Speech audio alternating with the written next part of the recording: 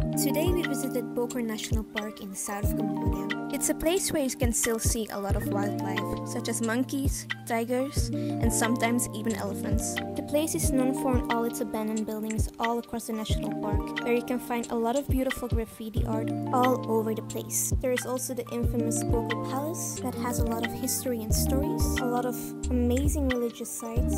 Something that we were really surprised by was the fact that there were a lot of and a lot of empty guest houses all over the place. Overall, our journey to Bokor National Park went really The roads were one of the best ones that we've seen in Cambodia so far. On our way back, we were a bit out of luck.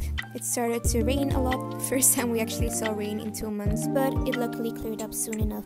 Conclusion, we were very very happy that we were able to visit the park. Sadly enough, we weren't able to visit everything because it's so big, but it gives us an excuse to come one more time.